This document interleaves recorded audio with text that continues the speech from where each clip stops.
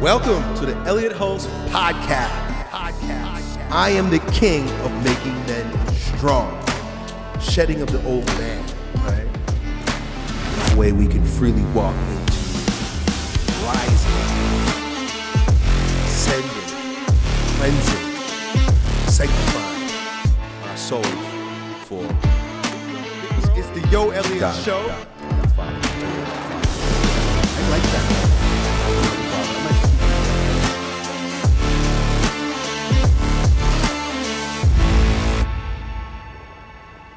Yo, bros, it's Uncle Yo here, back with another show. And today I have an old friend that's doing big things. I want to introduce you to Ryan Magin. What's up? Ryan, it's a pleasure to have you here, dude. Thank you for inviting Man, me. Man, there's so much that we could talk about because Ryan and I are old friends. One of my first friends when I moved down to Florida. Uh, I was on my grind raising my family, had no friends, wasn't interested actually in having friends, but this guy's so damn friendly that he stuck around and here he is. But not only that, we want to dive into what Ryan's doing these days. And you might not know his name, but you know his style. If you're watching any reels, uh, TikToks, um, any short form vertical videos, and you notice the bold text that people use and the emojis that people are using, this this uniquely short form style of uh, drawing people into the videos with with uh, animations. This is the dude that came up with it, and I know it for a fact because I saw the first one that he did, and he said, "Hey, I think this is going to take off," and here it is. So it's so funny because I get hit up by young uh, entrepreneurs all the time who are wanting to do TikTok edits for me, and then they're showing me uh, videos that are edited by you, and they're telling me, "Hey, I can do." Alex Hormozi style videos. I can do Grant Cardone style videos. And in the back of my mind, I'm like, yeah, I know the guy who made that up and does those. Yeah, it's uh, it's definitely. I'm still kind of humbled. Like I don't know how to like accept the fact that I created that. Like Yeah. because a lot of people don't know that I created it, and it's like kind of this. this but I mean, you know, I'm big on showing proof. And uh, like if anybody wants to fact check this podcast, if you go to July of 2020 on my TikTok account, you will uh, see the first video ever on TikTok, which was created with those styles, which was done by me. And then I just so happened to be working with some large clients, two of which Elliot mentioned. I have NDAs, so I don't.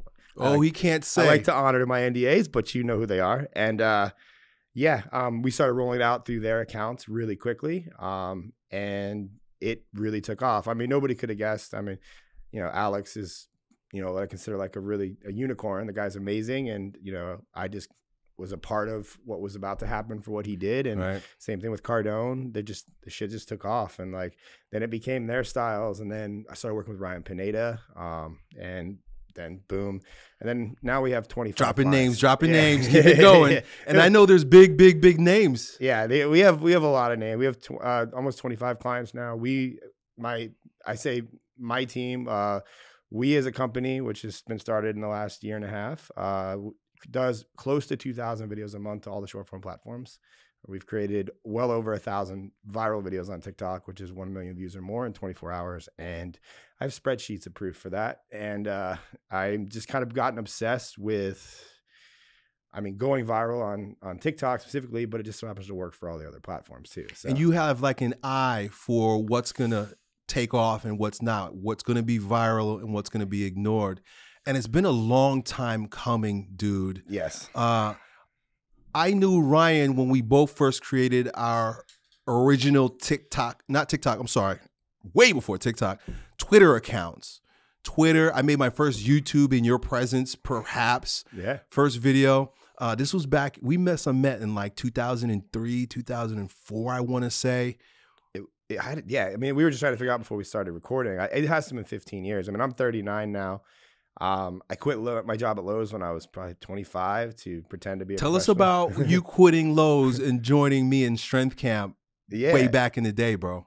so I uh yeah, so I had really I had this idea. Um I was on a forum, Zach Even-Esh, shout out to he's a good homie. Uh Yep. he had a forum and uh, there just happened to be this, you know, I thought I was like the only person interested in flipping tires and stuff back then because like as you know, it wasn't the cool thing to do back then. Right. Like it was weird. And It was underground. yeah, it was literally underground. And Zach Even-Esh happened to be kind of creating this forum where he was like the only person doing it. And I was like, yo, and then you posted a flyer in there, like getting critiqued on like, I think the marketing of the flyer or something.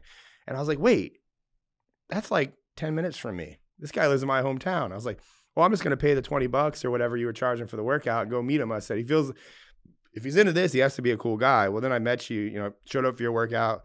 You know, one had a lot of fun doing the workout, and two, I don't know, like th- you had this vibe about you that I was like, man, I feel like I should just be around this guy. And he probably won't like me at first, but you know, maybe he, maybe I could buy him lunch or something. You were useful because you brought around the first tractor tire that I ever flipped, and you would bring it on your truck, and we would go out in the park. Now, if you go to my Strength Camp YouTube channel, which is where I blew up, and you go to the very first video on my YouTube channel, you're gonna see he and I flipping this what 500 pound tire. Yeah, I think it was. I think it, it was. It was a pain in the ass to bring out, but that for for a networking tip, as far as like I like to teach people how to make friends, and I was like, this guy probably wants nothing to do with me. I said, how do I how do I make myself valuable to him and make him want to invite me places and like and you know eventually become my friend? I was like, I'm gonna go find the tractor tire, and I had That's I a- happen to have a truck. Bro, that's totally a gift of yours. One thing for sure is that you have always marched by the beat of your own drum. And you and I were like diametrically opposed, totally different people. I rocked like a short haircut, baldy fade, probably, was lean, fit, and trim, didn't drink a drop of alcohol, eating only organic food. And I was militant about strength camp. This kid would roll up with cut off t shirts with his hair Still have uh, spiked blue hair. Every other week he had a different hair. He'd roll up, and I say kid because it was so long ago, bro. We've known each other uh, 15, al- almost 20 years, perhaps. And uh, you were literally a kid, and you would I come was. up and you were drinking your big gulp and listening to punk rock music. For all intents and purposes, uh, you were the opposite of the kind of person I would hang out with. yeah, I, I, I, I had that vibe. I don't know if I still have that vibe, but like back then, I definitely, I had like, I guess the, you know, I, I was at the time just turned prof- professional on my BMX bike, so I had. You were BMXer, right? I was a BMX racer, and like we just had like chips on our shoulders. We were like the the outcasts in high school. We weren't the cool kids, like so. It's like that's how I like grew up, Mm-hmm. you know. And I always, I always had a lot of friends though. I never had a problem meeting friends, and I always, you know, found my ways to be useful to get invited to the cool parties. So I always associated with going to the cool parties with meeting new friends, and that's just kind of that vibe. Plus, extreme sports was like this version of myself back then that. I don't know. Like it was interesting. I I, I could have done without the hair. Looking back, that was Mhm. a little phase I went through. But you know, I mean, hey, it got me remembered. And No, know, you know what? I admire that because in a way I'm a rebel too, maybe in a different way. But uh, I admire your willingness to be different, to be yourself. It didn't matter what I was doing. You wanted to be a part. You wanted to crash the strength camp party, right? And you came and you made yourself completely integrated with the things that I was doing. Like, remember the first time we met Tom Mitchell? yep. Tom Mitchell was my first strongman coach, my only real true strongman coach. He's the guy that taught us the game, introduced us to uh, strongman competitions. You were doing it. You were ruthless. You were relentless. You would carry yokes or lift stones till your blood was coming out your nose. And uh, we had some really rough, tough, but awesome times Mhm. together uh, with that old badass in his front yard. Yeah, that was. I, I tell people about that because they're like, "Oh, you ever gonna do that again?" I was like, "Absolutely fucking not." I want. I have no desire. You got to be a masochist. You got to Like- like punishment in a way. like we did it for. I think. I mean, well, like I did it with you for like strongman for you know, what was it? Maybe two years total, like over the course. And it was like, but that Saturday morning workout, like Mhm. that Saturday morning workout would also keep me from not drinking on a Friday night. So like I did respect the Saturday morning workout. That's right. And uh that was like the the high and it was like but it wasn't just Saturday morning workout. It was also we were probably gonna go eat like three hamburgers or something stupid after we got done. And I was like, I would always cherish those times. I was like, I just have to get to the workout to have those like and it was always like a group of us. the And- friendly fun time Yeah. at the end. and it was like that was always the you know the, at the end of like okay we just killed ourselves but i've always had that personality even now like i mean i'm big on crossfit now i you know it's i was thinking about it on the way up here i was like man it's like yesterday I'm like my body is so sore today And I'm like, I'm like, shit, I'm not gonna make a workout today. We bonded through training. hmm And but I mean, you had football, the football background, obviously. I had BMX, and like that's all I did was I would get home from school and I would ride my kids don't do this shit now. Like I would ride my bike from I would like in high school, I would get out of school at like 150 or whatever in the afternoon. And I would ride my I'd go home, get my bike, and I would come back at nightfall, like 7, 8 p.m. every single night. And I would ride my bike, my BMX bike, miles, going to like jump curbs and like and that was just that was how I lived and like you fall like it's lonely like sometimes you Mhm. had people to ride with sometimes you didn't but that was just what i did because we were you know i had the aspirations of being a professional athlete so I was Yeah, like, you did. like you know i mean i did become one i just was in that awkward i'm too good to be amateur but not good enough to be a top professional but Mhm. then you just kind of just make no money that's just what that turns into and and yeah but that led me to but meeting you like when i first met you though uh like the reason i saw value in like i want this guy to like me i gotta do whatever i can to make this guy like me was just because i mean my dad was an entrepreneur so i don't want to i want to give my dad some credit Yeah. but i didn't really have many entre- i had no entrepreneur friends right. and I was like, this guy's just like got this attitude about him where he's just going to, I feel like he's going to make a lot of money or do something really cool.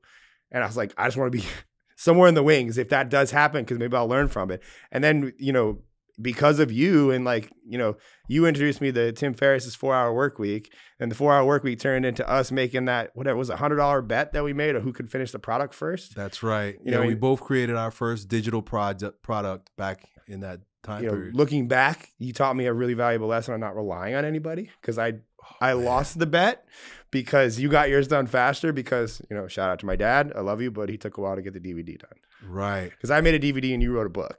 And I'm so self reliant. I don't know if that's a good thing, but I do best when I do everything myself. And so it's pretty cool that you learned that lesson, man. I grew up in New York. I grew up on Long Island. Uh, I grew up in a totally different environment than you. It was uh, dog eat dog. it was ambition or death. And uh, you grew up in Pinellas Park. It's technically Largo. you Yeah, know. Nobody like likes to admit trailer that park. they live in Pinellas Park. But, it, but I had a good, I mean, you know, I mean, by all sakes, like I didn't have a hard childhood at all. My my parents, you know, looking back, they got me whatever I wanted. Like it was, I never Only child. Yeah, I was only child. Like I, I never really like struggled. Like you know, yeah, there was times I think because my dad was an entrepreneur that he was struggling, but I never felt that. So I mean, shout out to him for making me not feel that. But Mhm. Yeah, I- don't have that story where it's like, yeah, I lived in the streets and I was poor. Like, no, like I had the best bikes. I traveled the country, ride my bike from the time I was like nine years old until I was like 25.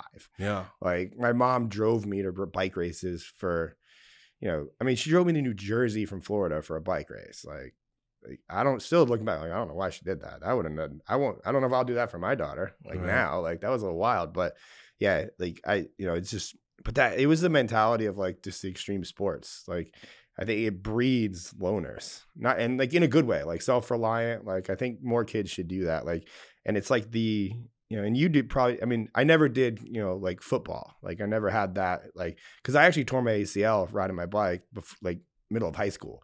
Like when I was like a you know sophomore in high school, so like I couldn't even do team sports in high school. So that maybe even more dependent on like on riding my bike. Um, and because of that, I just never experienced that camaraderie of like football, which like looking back would have been cool to have that. yeah. That's what Strength Camp was. Strength Mm-hmm. Camp was my version of football camaraderie, but doing different things with odd objects. Mhm. And we were on the cutting edge doing that, dude. There's this one picture, maybe we'll use it for the thumbnail, of you and I after. So check it out. Uh, Ryan was a party animal. And uh, you, as much as you were a good influence on me, I, I was a good influence on you. Uh, you were a bad influence on me I was. because I hadn't drank in years. But I wanted to fill up some kegs because we know that with strongman, you carry kegs, you press kegs, you work out with beer kegs.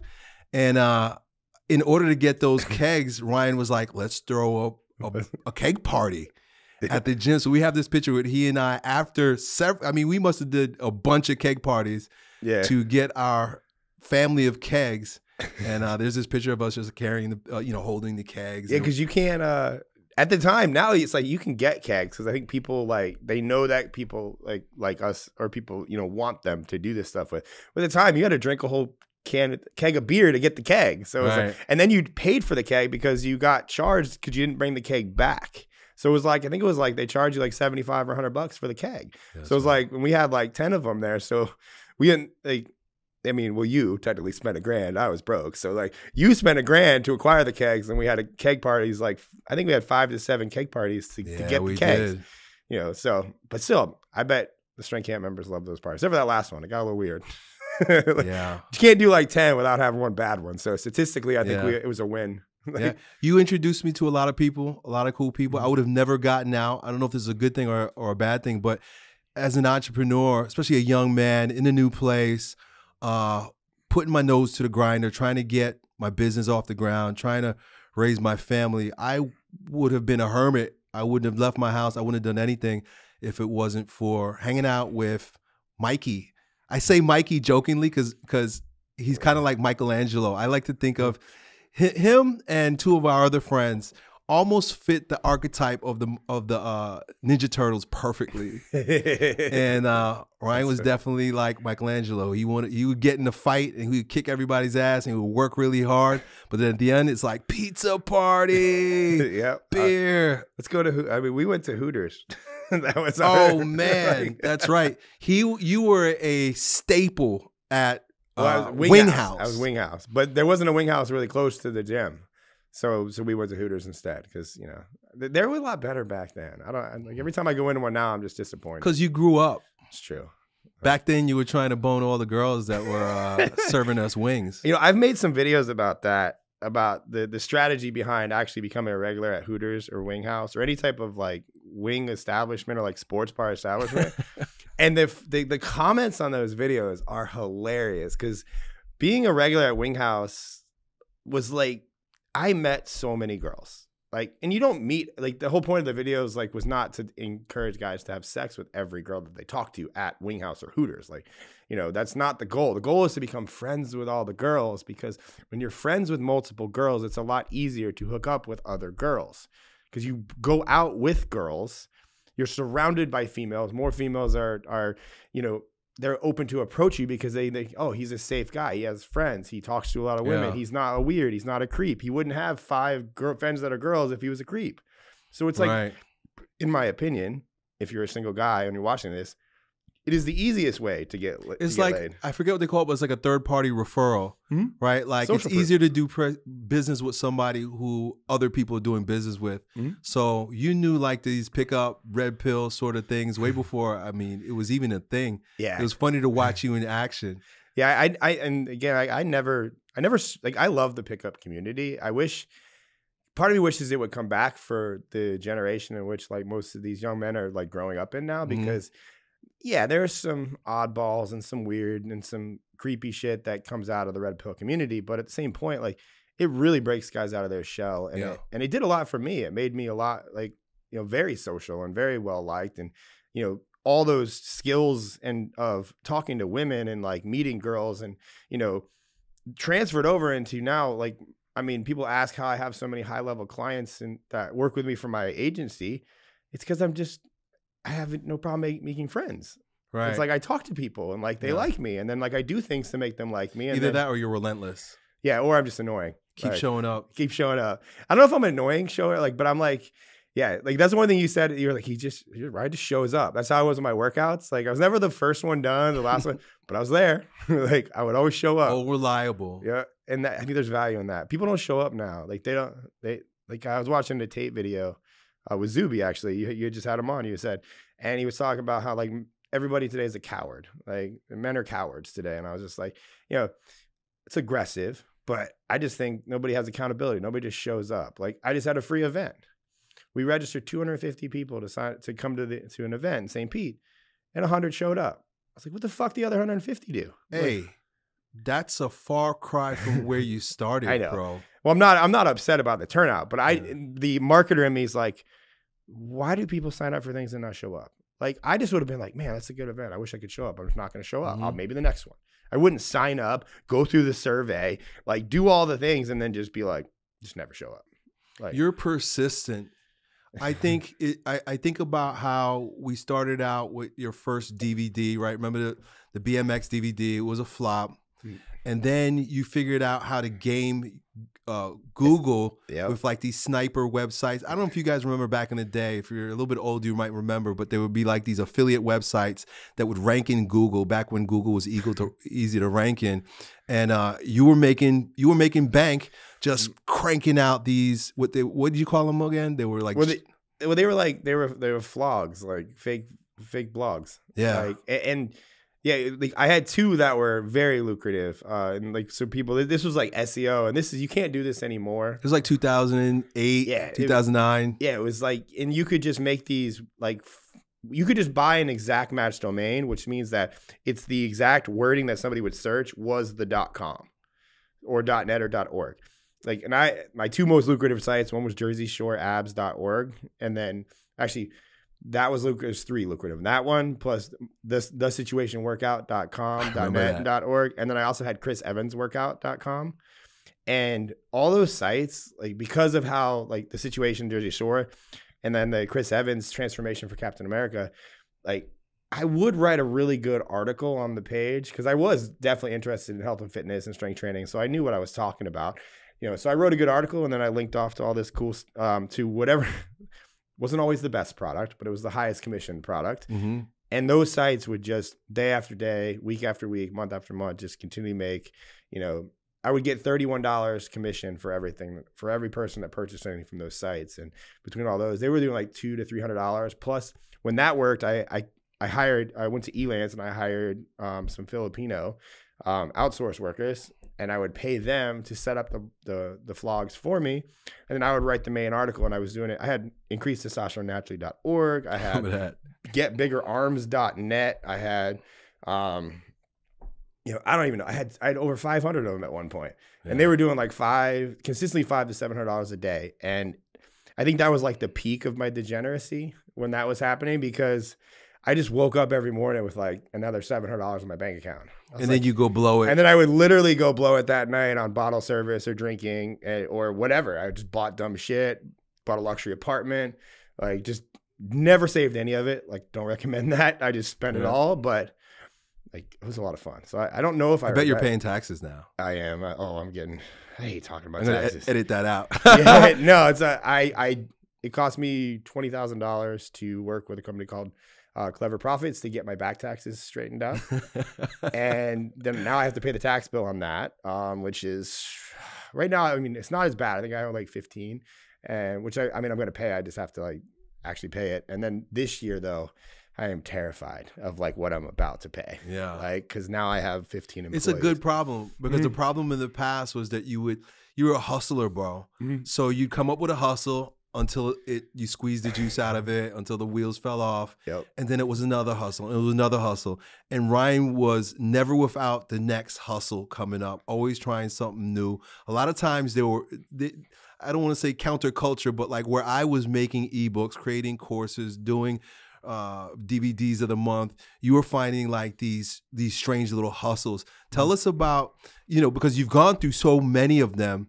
It's interesting for people who are like seeking out success right now. They think that they're gonna do something that's gonna hit, but you must have tried a dozen different things Yeah. and, until you finally hit where you're at right now. What are some of the other hustles that you had used back in the day? Well, the first one was, I mean, just, I mean, to self fund my BMX racing career, that was the before the DVD, which we made together. It was just training BMXers on the side. With I had zero personal training experience. I just like knew how to. I, I liked working out, and I went to and I liked to go to the gym. So I was like, oh yeah, people just come work out with me, and they did. So I was able to like make a few hundred bucks a week doing that. Um, helped a bunch of kids. One who's still my friend, Little John. You know, Little John. That's right. Um, like I think I helped shape part of his life growing up, but Mhm. and then that turned into the DVD, and then but we didn't know how to build websites. I remember that like I was like, I, this is like when you had to code entire websites. So like I spent like two months creating this DVD, and then I'm like, you, you kind of did the same thing with the football program, and you're like. Like nobody bought it at first. We're like shit, we gotta learn how to drive traffic. So then right. you're like, well, I'm just gonna try this video thing, uh, like on YouTube, and this is when YouTube wasn't cool. Like now Right. it's cool.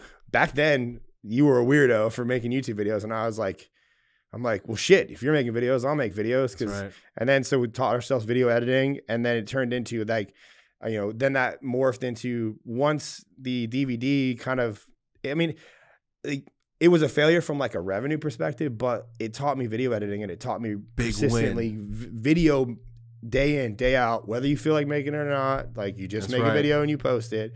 And then that morphed into the affiliate stuff because I was like, well, once I had done the videos for so long, I was like, well, I can make videos and websites about stuff I'm interested in. So then, and I already knew how to code. And now we had WordPress. So WordPress is really yeah, easy. people don't know. Uh, It's so funny because I'll get clients sometimes that want to know, like, how do you make a website? And I'm like, dude, it's so easy. Like- they basically make it for you. Back in the day, we were like hacking codes in order to make these sites. You remember like uh so like when I was learning websites, I was driving to I was broke. Like and I would go to Borders bookstore and I would read books on coding, but I couldn't afford to buy the book cuz for whatever reason the coding books were like $50, $75. Yeah.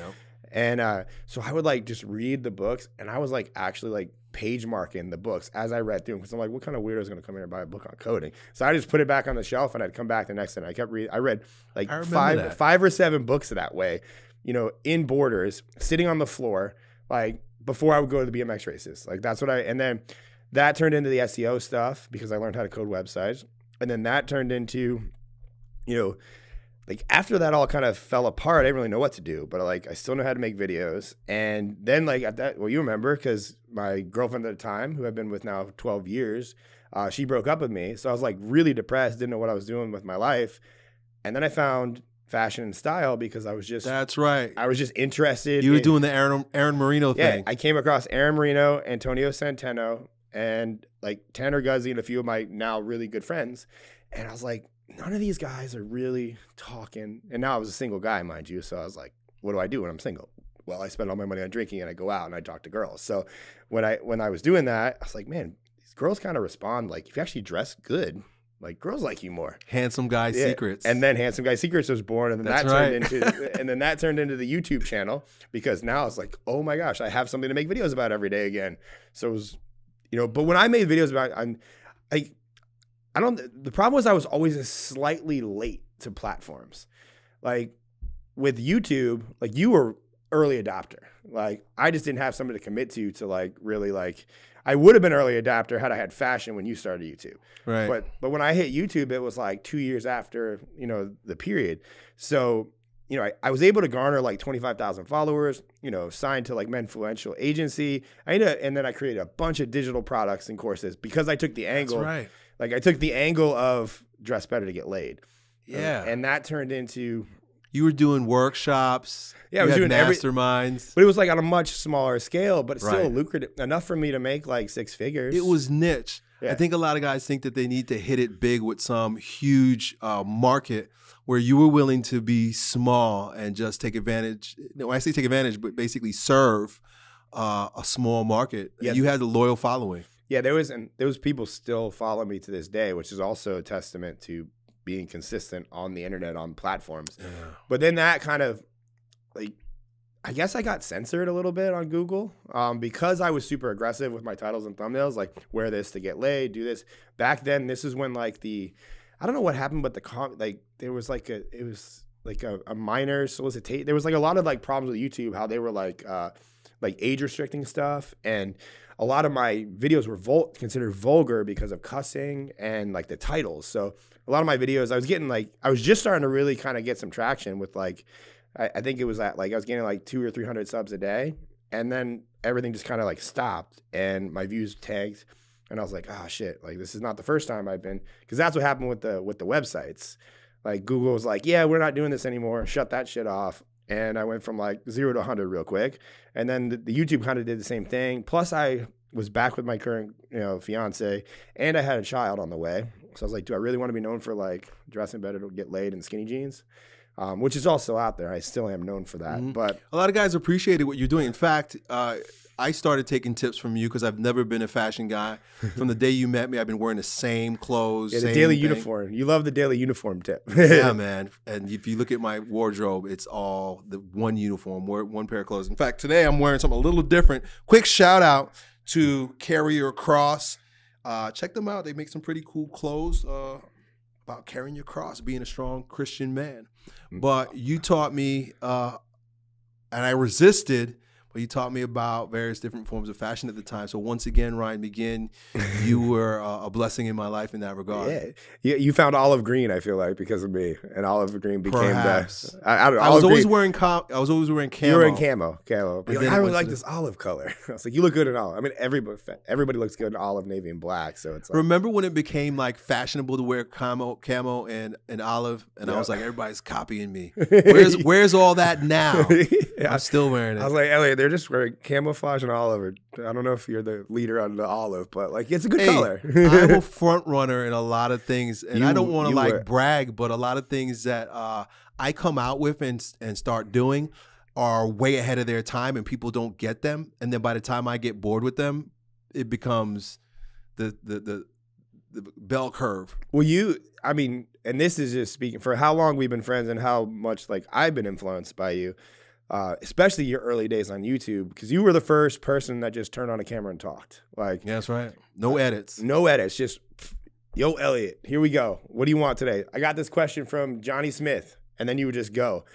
And the one thing that, that you told me, and I tell every single client I work with, because I film hundreds of videos a month with clients, and I'm like, look at the camera directly in the lens and burn your eyes through the lens. Yeah. And I learned that from you. You're like, because you, you- we were obviously big studiers of like Dan Kennedy, Robert Cialdini, and like more influential practices in psychology. And you're like, eye contact. You got to make good, strong eye contact. And I was like, that was one thing that always stuck with me, which is I think, and I do that now, like with my TikTok videos. Like, and I come off, like, I've been told this because I just had these people at my event. I'm not, I don't think I'm arrogant on camera, but I'm very commanding and I have a, like a confidence that on TikTok it tends to trigger people because they're not that confident. And like Mm. when you come across and I'm like, nope, this is correct. I do it this way. You're wrong. All of a sudden you start getting views because you're polarizing. Yep, conviction. Yeah. And that was like another lesson. You're like, just be, you know, I'll never, me, you, Chris. Uh, I think Danny was with it. Danny was with us. I don't remember. We were in California. We were just, we were at one of Jason Capital's events and we were going back to Jason Capital's house, and me and Chris and like we we're gonna have like a pool party, and you were gonna do like some uh, some bioenergetics with JC, and me and Chris like we were hungover from the night before, and we weren't making very good decisions, or like we couldn't decide.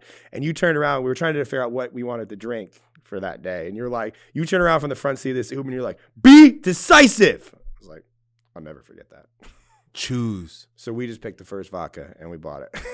Yeah. like, Yo, that's pretty. You know what's another amazing thing about the little world that we created in Podunk, St. Pete, down in the ghetto? Man, it's crazy. That was a spark for a lot of people, including Jason Capital. Because of your friendly outreach, uh, this Yep. guy, this young basketball player, real awkward, real quiet, started coming to strength camp, and he saw you and I up in the loft creating websites and doing internet stuff. Now he's incredible. He Yeah. blows up. he's yeah. I remember he came He's the in. king. I, I I look to him now. Oh, I, I, I, I'm like, man, it's like, how did I get such a smart friend? Like JC, like when I'm like, what is, what is working in marketing? Or, man, I need to figure out how to make money with this. JC's already miles ahead. It's like, all right, yeah, he knows. And back back then he was Alex. Yeah, back then he was out. He still, I like, he came clean about that. Yeah, I like, saw. like he, had, he but, it, but I mean, once you commit, I mean, let's be, I like his original name, but Jason Capital's a cool name. It was amazing to see how he, guys like him, like you, and I'm sure there are so many others, just kind of came in and got a whiff of the ama- amazing little things that we were doing, and then they took it all, took it and ran and mm-hmm. became amazing. Yeah, I remember like I mean with JC specifically, like he was like, "What are you guys doing up there?" Because we would just work out, and he would work out. Well, he would do his own workout, some weird weird stuff over there that basketball players do, and then he would just be like, and he would be sitting around and talking, and me and you were like, "All right, we got to go upstairs. Like we're gonna go work," and we would just you'd go to your computer, I would go to mine, and we were like this, like, and we wouldn't talk. And he's like, "What are you guys doing?" And Writing copy. writing copy, make editing videos. Like it was always like one of those things, or sending an email. And he's like, "You think I can do this for basketball?" And I remember you're like, "Yeah," and then he just left. I mean, but me and him did stay in contact because Yeah. we became friends at that point. Um, he took it and ran. and he took that and ran. And he, I mean, by and large, is probably one of the, you know, I would say one of the best marketers you know, at this time on social media. I would, I would give him that credit. Yeah. You know, just especially when it comes to like monetizing Instagram and this newer social media platforms. Like, I mean, I don't know how much money JC's made doing that, but it's multiple tens, twenties and millions. I don't even know how to count that high. Yeah. But he's a, he's a he's a fascinating character. Yeah. Um, So you're adaptive and you're you're persistent and you're willing to change. You're willing to uh, uh, evolve with the times. You were doing handsome guy secrets. I remember that was uh, probably around 2015, Mhm. 2016.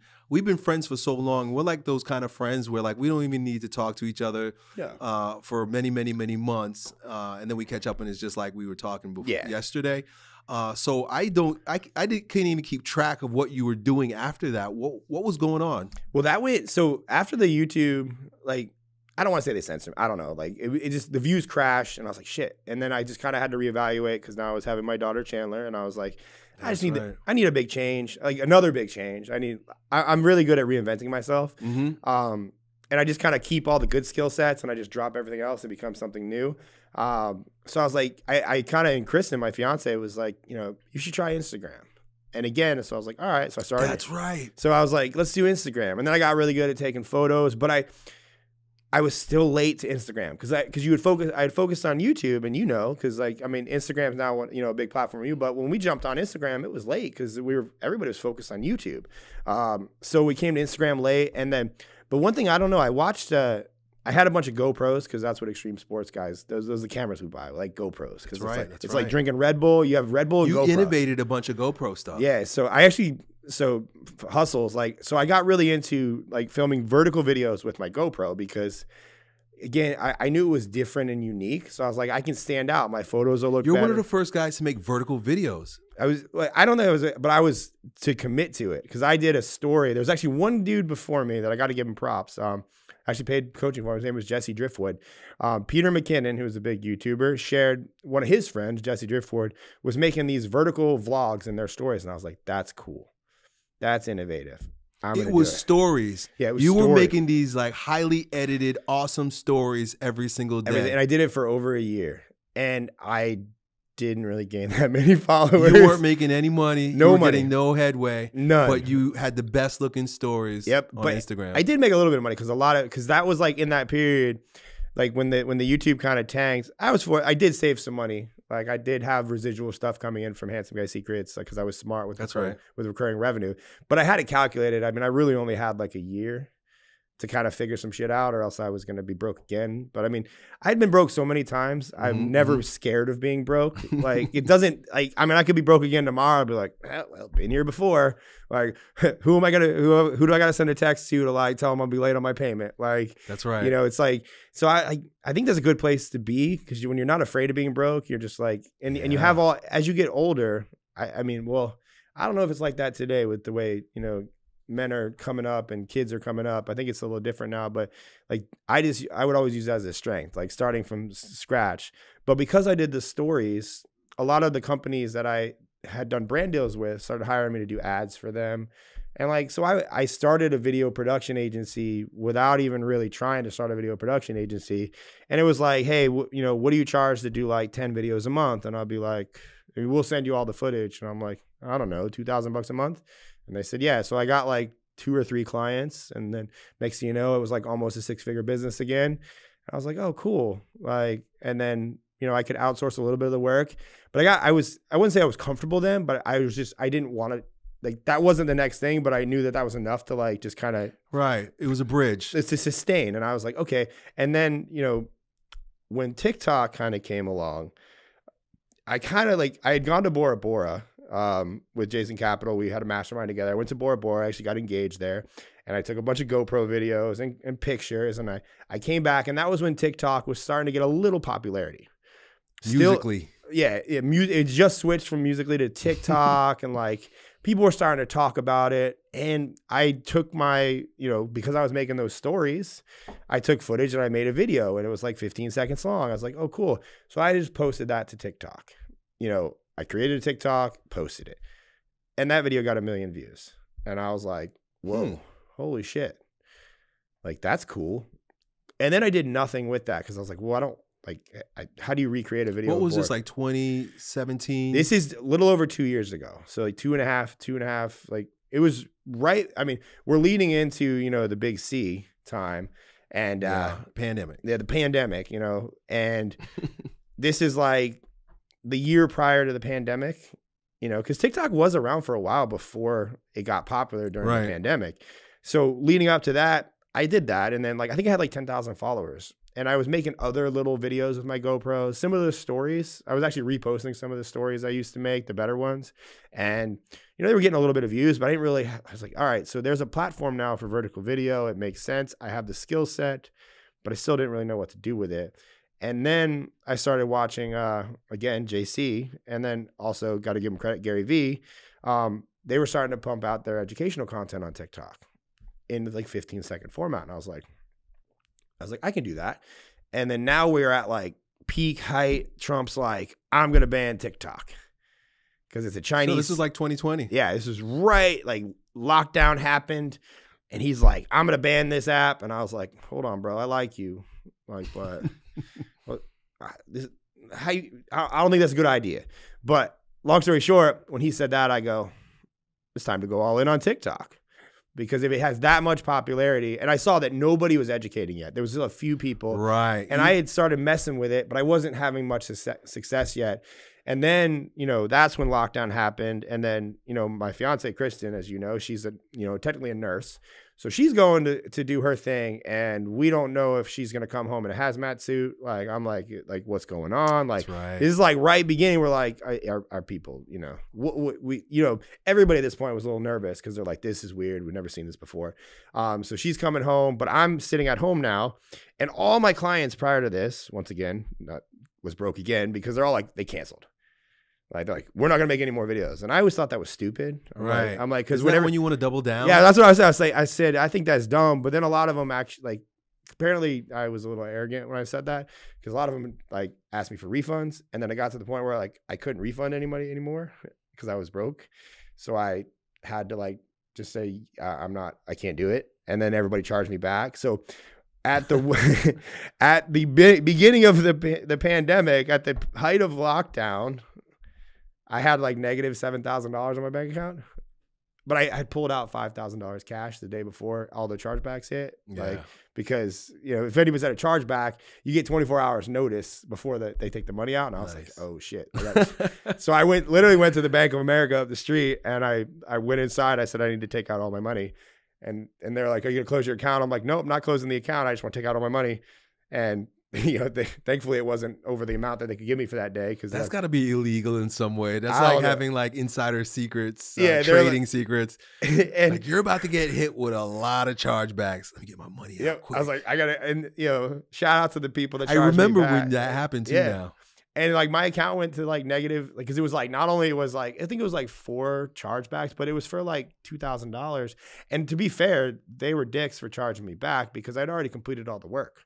Really, Like, and they were just panicking because of what was happening. right? This is Um, people, man. And you know, they weren't big influencers. They they were your regular people. So like, I hope they feel bad for what they did, but you know, it ended up working in my favor because I made everybody sign contracts and I delivered on my work. So I just showed that to the bank and I got all the money back. But if you ever had a chargeback, it takes like four months, five months before everything settles. That's right. So yeah, so my account was negative and but I had my cash out so I could pay my pay my rent. You know, Kristen wasn't you know too mad or upset, you know.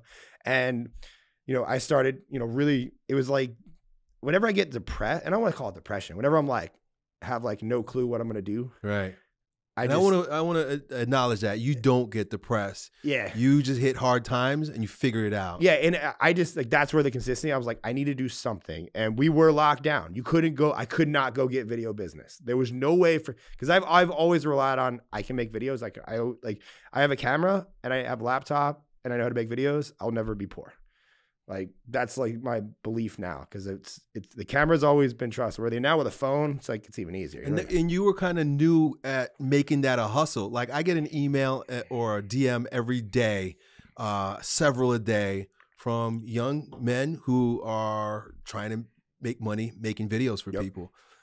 and it, it like for me it was just i would walk into like coffee shops like that was another like i would just walk into local businesses and i'd be like i'll make you free videos and then i would make them two or three videos they'd like them and they'd hire me to make more videos like so like i always knew i could do that but during lockdown everything was closed Right. so i couldn't do that Um, so that's when I was like, well, maybe I should take some time to figure out this TikTok thing. And I committed to doing, you know, I like force constraints, which is why I like TikTok as a whole because it's so short. It forces you to have to make things like very concise. Right. Um, I said, I'm going to do one video a day for the next 90 days to see what happens.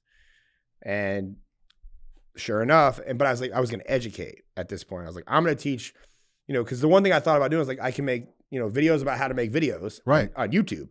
But that was saturated. You had guys Sure. like Casey Neistat. You had a lot of better competition. I was like, man, that's too competitive. I'm not going to break through. So TikTok was new. I was like, I'll figure it out here. And I knew from that point forward, I was like, if I figure this out, if this works, it's a little bit of a risk. I'm going to be early and I'm going to make a lot of money doing it because I know, like, I mean, you're what? I said, my friends like Elliot Hulse and Chris Barnard and Aaron Marino and Beard Brand and all my network that I built to this point, I said, they're not doing TikToks yet. They're going to want somebody to do them for them because they're busy people. They're entrepreneurs. I said, I'll figure it out and I'm going to do it for people. I said, and then that's so, but like I started making videos and like I think my 10th video in of that like 90 day stint was a video about a ring light, got like 700,000 views, gained another 10,000 followers. Um, now I had like 20,000 on my account and never had that that fast on anything. Kept making videos, kept making videos, got another million view video. And then I went to Chris, you know, first, because I think because you had just moved, you had you had moved at the, that point. So you weren't as easy to access. So I hit up Chris. I was like, yo, let me start you account. I'll do it for free. Like, let's just do like work out some sort of rev share if we make any money from this. I mean, and he wasn't afraid to film during lockdown. So like we were going to this, you know, to the gym. You know, nobody gave a shit. Like we were filming videos, we were making videos, and he was the first account that I took to 100k, and then we started on your account. And it, and I, I mean, what do we do? We say like three accounts for you. We kept just trying to start it. We like, Bro, I've been banned over a dozen times. yeah. So I mean, like, I mean, we did take your account to 100k the first time before the original ban, Yep. and then it got banned. Then we reposted, tried again, and it was just got out of hand. Uh, but then I, I had those two case studies, and then I was able to, for making friends, like I met a gentleman named Michael Sanchez who runs the a really good TikTok Facebook group, uh, TikTok Marketing Secrets. Um, he's creator of uh, the TokAudit software, which is if you're making TikTok videos, highly recommended software. Um, and he was like offering coaching, like for, and this is like his group now. I think it's at like twenty thousand. Back then, it was at like eight hundred. And I was like, oh, he's still accessible. So I, I hit him up and I was he did coaching. I was like, yo, let me buy three. I want I want three hours. And and and I sent him and I and I sent him uh well he put a PayPal link. Uh and I paid three individual times. I didn't send him 300 at once. I wanted to see the 100 come in three different times. So he remember my name. And which is a hack for people like, you know, when you see a PayPal come in, it says your name. You says- know how to get attention. You hack attention. yeah. So it was like, so I did that, got on the call, and then, but it, but I was spending a lot. This is the first time that like, because I was still making videos. Like I never stopped making videos on my own account, and I was my edits were very different. Like now they're the norm because it's like what you see everywhere. But I hadn't started doing subtitles yet. But I was doing very highly edited videos, like with jump cuts and zooms and B roll and pictures and I was filming them on a you know a nice camera setup like what we're using right now. So and everybody on TikTok was using their phones, and I was actually getting so many hate comments. That's right. like everyone's like, "This is overkill for TikTok. You're stupid. Like waste of your time." And I said, but I knew I'm like, no, it's not because I'm early. Yeah. Y'all just don't get it Yeah, yet. and I and I and I knew that because I had watched you start on YouTube, and I remember it was like even when you started, you were a little like it, it used to be just like beauty vloggers. You know, it started with cell phones, like just talking to your phone like this. Oh, you're on turned- TikTok, you mean? No, this was like YouTube YouTube, we didn't have cell phones uh, with cameras Well, back then. Remember, well, we had flip cams. flip cams. It started with flip cams, and then it started. Then you started seeing like the, the girls talking to a camera, sitting on their floor doing makeup reviews, and then you started seeing like the you know you started doing long you know talking videos, and then you saw like higher professional cameras, and you had like the Casey Neistat come, then you had like the Peter McKinnon come, and then now you have like Mr. Beast who spends a million dollars per video. I'm like the progression is it starts with a cell phone and it's shitty quality, and progressively gets faster and faster and better quality, and now you have full scale production teams working on YouTube. So it's like if that trajectory happens with TikTok, I was already like eight steps ahead. Yeah. I was like, I'm going to start with the professional cameras. I'm going to start with the editing, even though it sucked and it wasn't making me any money when it started. That it set me apart. So like I did that, and then then somehow Uh, well, actually, the def the subtitles were created, and the subtitles were created, like I said, in July of 2020 because I was attacked by the deaf community, and most people don't know this because like I because I was making pretty edited videos, people liked them, and I was getting comments, and I guess a lot of them were hard of hearing in the comments, and I had no idea because you assume like when you listen when you're watching TikTok, I assume you have volume on because it's a video app. Well, it turns out like there was a lot of hard of hearing people. Wait, that- I don't understand. Why would deaf people attack you? I mean, weren't Well, they not- watching YouTube and the same thing? well, because there was no captions on TikTok when it started. oh, Like the app oh, did not. YouTube has captions. YouTube has captions. Instagram, eh, like they had already had captions. TikTok didn't have captions when it started. Like the app hadn't even put them in yet. So I was getting these comments like, please, like they were just saying subtitle your videos, subtitle your videos. They were asking pretty arrogantly, like they were like forcefully saying something. you owe us. Yeah, you and I'm like, I'm already spending like an hour and a half editing my videos that I'm not making any money with at whatsoever. And then I was working on like your account and Chris's account, and I wasn't getting paid anything. So I'm doing all this editing work, and I was like, fucking subtitle my own video. You gotta be fucking kidding me. It's another hour of work per video. And then I just happened to be on my porch smoking a cigar, drinking, and one of them said something, and I think it was just like, "You need to subtitle your videos." And I was like, you know, I was like, "Don't you have an app for that?" Like, kind of being a snarky asshole. And then like it was on one video, like I feel like they all came out of the woodwork and just like basically called me an asshole and said I was like it was like the whole deaf community was just mad. But was me. anybody else doing captions? no, no, nobody was doing captions back then. So they were just angry at TikTok. They were just angry at the app, and I just happened to be the vessel that got yelled at the first time. yeah. And from that, and then out of spite, like I woke up, like I waited like two or three days, and I was just angry. I was like, "Fuck these!" Like, goddamn. I was like, you know. And then I, re- you know, reflected. I was like, that was kind of an arrogant comment. Like I was kind of a dick to say that. And then it turned in. I'm like, well, you know what? Because you know me, I'm like, I'm like, I'm gonna make the most obnoxious fucking captions I can. They're gonna be so fucking big, you can't not read them. And that was the day the captions were born. And then I did it to my video, but I did it and I committed to doing seven days because I knew it was significantly more work. And after seven days, my views significantly increased. And I was like, and the watch time on the videos went up. And I was like, oh shit. And you were catering to a small deaf portion of the Well, I mean, but it, population. but- and then apparently everybody, Everybody. wants it. and everybody wanted the caption. I mean, how many times I know I do, I'll scroll through things and I'm not listening to the video at all. I don't want to hear somebody's voice sometimes. Mm, I just want to read. And you can just read them now. and then that turned into like there's been many re- reiterations of captions over the last year and a half. Now, mind you, all this is this is the last two years that all this has happened. Yeah, so time flies. super compressed time frame. Um, yeah, we just kept evolving the captions, and at this point, and then it was at that time that I I started getting some pretty heavy hitter clients because they found out. I mean, well, Cardone, uh, Cardone's team reached out based on my friendship with Michael Sanchez. So that three hundred dollars turned into Cardone's team reaching out to me and paying me now, and have for over a year now, um, to do their TikTok. And we took Grant's from zero to a million uh, in six months. Uh, we took, and then we did, you know, we had, you know, the the Hormozis that we worked with, and we still do work with them. Uh, that was equally as fast. Not they're not at a million, but you know, really explosive growth. And Ryan Pineda came. We took him from 500k to a million in like six months. We took Beard Brand from zero to half a million in like six months. Aaron Aaron Marino from zero to a million in under a year. Myself from zero to, to almost 200k in the last year. Like, so it was just like the the captions became the thing, and then everybody just started copying the people that were going viral. And now, now I have a team of I have 15 employees. That's pretty amazing, And dude. we're doing this year. We're gonna just shy of a million dollars, uh, like nine hundred fifty thousand. I think. I'm really upset. I'm like, I want to sell something, like to get that extra fifty grand, so I can see it in my str- my SamCart account. That'd be amazing. But that's you say that you're sometimes late to the party, but I don't see it that way. I see that you're do, you're you're a front runner in a lot of instances because I remember you and I getting together on Twitter. I mean, you were just hammering Twitter in the beginning. Twitter had just come out. yeah, Uh, you know, it never became for you what it is for some people, but you were willing to hop on technology uh, before it became a thing. So my question to you is, given what you know now with the state of the world, what do you, if you could predict, what's the future look like? What's the next big thing? I mean, that's hard. Like, so everything about me is tied to short form now.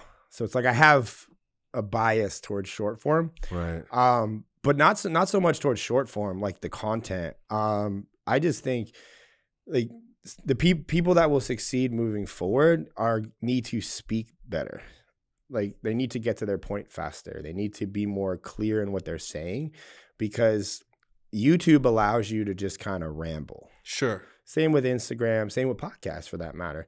Um, and there's this, I, I love podcasts and I love short form. There's this middle ground of like, you know, five to 20 minute videos that people post on YouTube. I just feel like that's going to disappear. And you're going to have, It seems that way. and you're going to have long, really long, and short. And there's not going to be, unless you're somebody like the Mr. Beast, the Airrack, and I don't like that is spending massive amounts of money to get their view, like to to produce their content. Like I think there will always be room for that because that's more entertainment based. But on the educational side, it's like really long or really short. I think the middle. I mean, I don't know if it's going to disappear. I just feel like it's going to kind of like Instagram just got rid of all their videos except for reels. Mhm. Like either like put like everything's just a reel now. And then like TikTok, I think somebody's gonna try to recreate a Vine, uh, which would be cool to go even shorter. Um, but Everything that starts short seems to get a little bit longer anyway, too. and I mean they might go cyclical again too, and it, the longer stuff might come back. But you know the what people don't really there's so many people that are po- putting out tons and tons of content. And most rely on a podcast format where they're like, oh, I'm going to do an hour podcast and then I'm going to do the Gary Vee method. We chop it into this. Like, I don't really believe in that. Like, I'm going to chop the shit out of this and post a bunch of stuff from it. But it's less predictable for this to go viral than it would be if I just sat in front of my camera and I made a video. Very deliberate. Like, I think you have to be very deliberate on the platforms. You have to be, you know, and you have to give away things that are unique to yourself and that just because everybody has unique things doesn't necessarily mean it's going to go viral. They have to give away things that are unique to them, but also help other people, but are also delivered in less than a minute. So when you say people got to learn how to talk better, what are some tips that they can use in order to help their vir- their content go viral? I mean, even if it's talking, editing, what are the what are the keys to viral content short form? Well, the I mean, everybody talks about the hook, you know, the first three seconds, but I don't think anybody realizes like, you know, one the importance of it, but the the hook itself, like, it's not really just about getting attention. Like, you have to not only get attention, but you also have to state very clearly the expectations and what they're going to learn in the video. Mm, So, so like, yeah, I can just say like, here's how to, you know, example of this would be like, here's why you should journal. Like, journaling will make you successful. I mean, yeah, like that's kind of a good hook. You know, that's a hook. But it's like, you know, a better hook would be, you know, journal every day for 30 days to be successful. And it's like, okay, well, how can we make that better? It's still kind of vague. You know, write this in your journal every day with a black pen for 30 days to be successful. wow, that Like, is what people want to hear. And they now want to be you- told exactly what to do. Yeah, Black and- pen. And then you can even go even even way more specific. You could be like, write, I am awesome every day for 30 days into your journal with a black pen and, you know, do it, you know, only on lines 1 through 17. At seven seventeen in Yeah. the morning. Like and then it's like and then then you say, here's why that works. Oh man. And then you go into your video. And and That's then you actually good. have to tell them why it works to sell them on that because you just told them the idea. You just told them this like what's going to do it. Now you have to affirm that and then Tell them why. tell them why. So it's like when Oh, we good. we are big marketers, like so like marketers and marketers are struggling so hard on short form right now. It's kind of comical. Um, the reason they're struggling is because as marketers, like I'm a big Dan Kennedy fan, as is yourself, it was always you know give away the what and the why, but sell the how. Right. Well, in short form, you have to give away the how first, Yeah. and they don't give a fuck about the what or the why. It's so true. Yeah, people just want the goods. Yep, They and- don't want the philosophy, the theory. They, They- don't want anything but the gold. Like you are just a vessel, or you're just a carrier of whatever they need to get whatever outcome they want.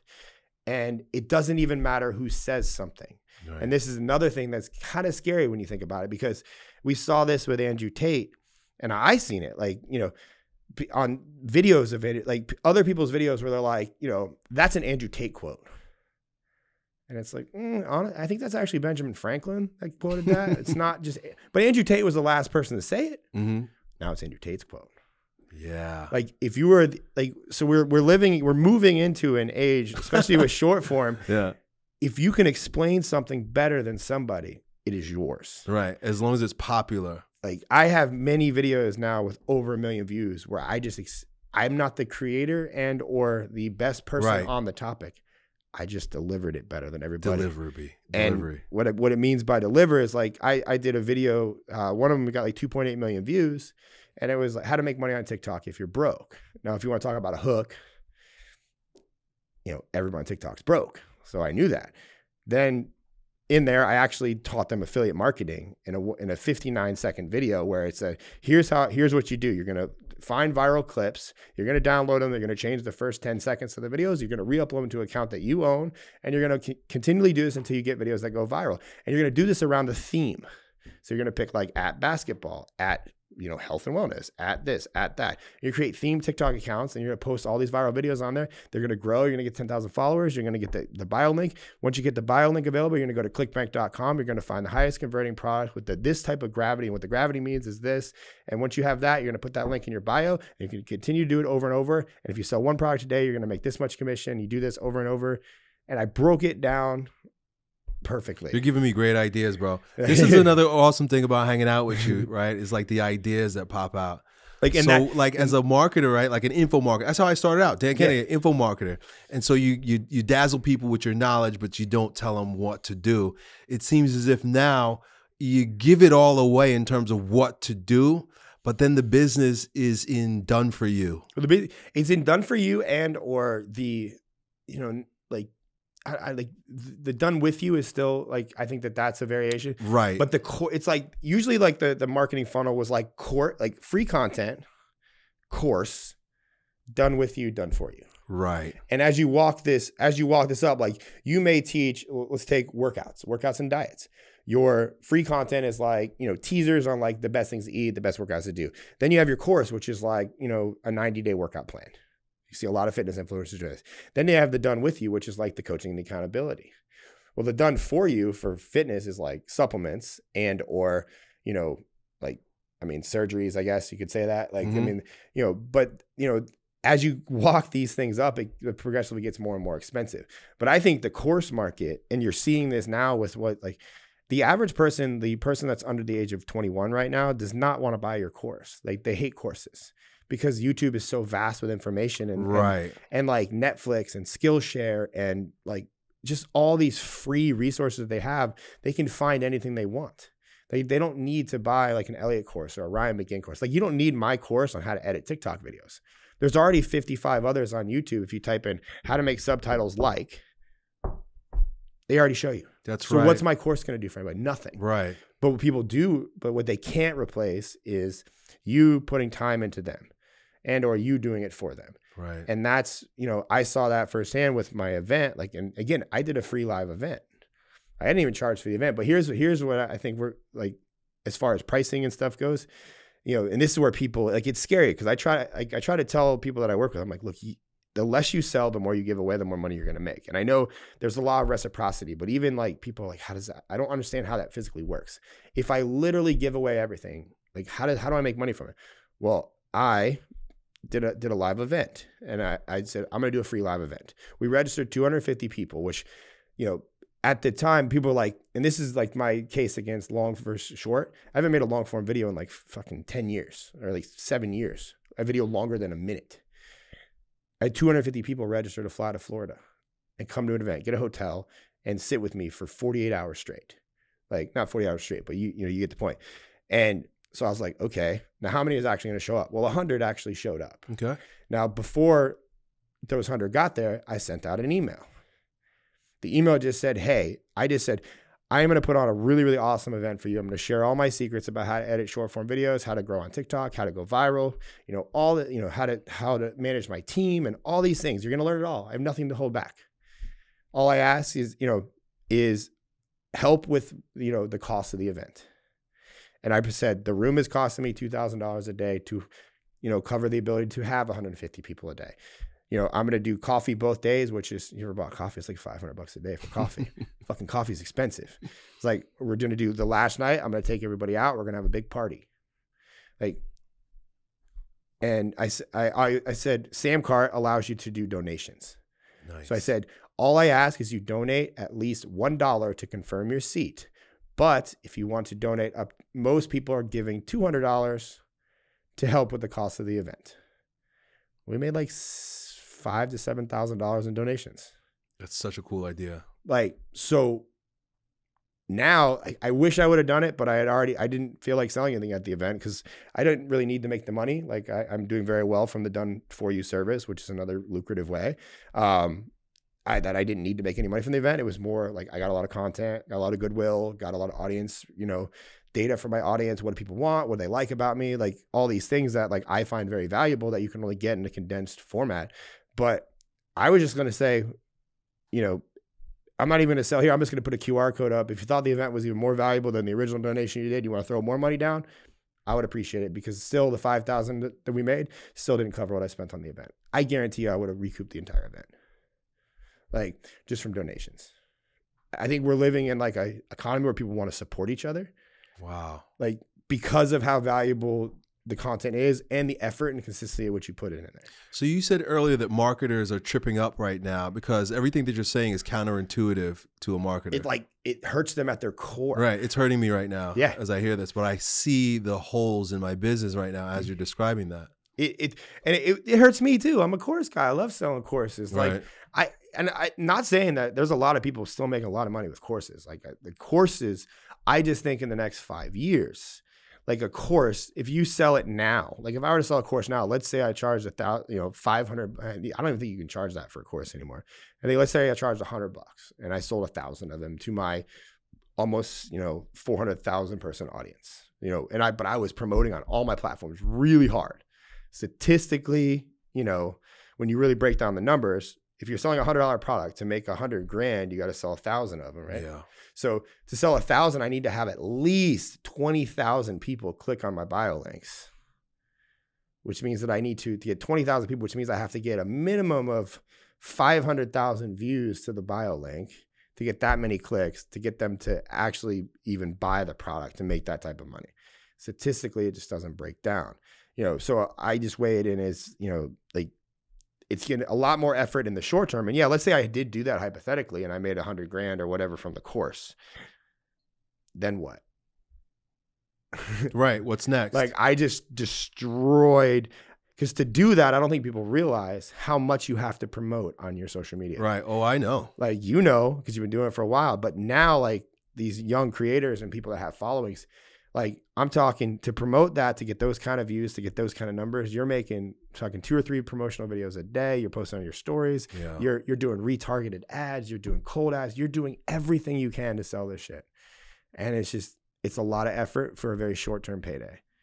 Like and I just think that it's the, the goodwill that's going to be burned there is isn't worth it in the long run if you can just prolong, you know, what like the ask.